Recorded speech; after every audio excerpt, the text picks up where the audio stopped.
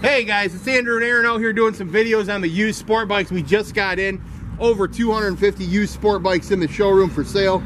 Guaranteed financing, leasing programs, layaway programs, and your trades are always welcome.